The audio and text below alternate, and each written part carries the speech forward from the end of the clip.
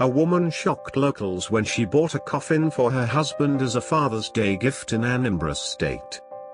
The woman, who lives in Oko, Orumba North local government area of Anambra State, presented the coffin to her husband on Sunday, June 21, being Father's Day. According to reports, the woman had bought the casket four days earlier and kept it with the seller, waiting for Father's Day. After church service on Sunday, she went to the coffin seller to get her purchase and she transported it home in a shuttle bus and presented it to her husband.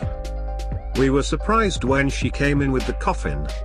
Nobody could understand her, a family source said.